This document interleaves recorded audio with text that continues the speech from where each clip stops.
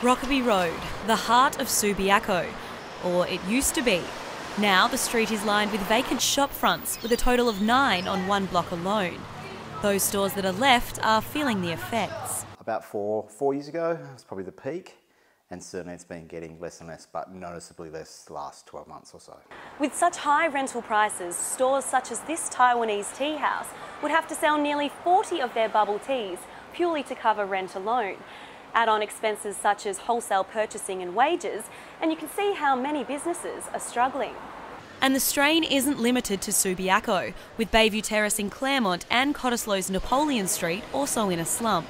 Consumers are instead turning to more accessible shopping centres, where they aren't deterred by things like parking fees or poor weather.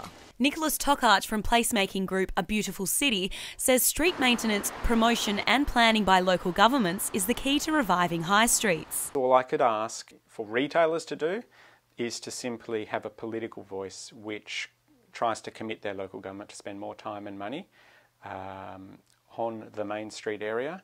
Until then, local retailers are on their own.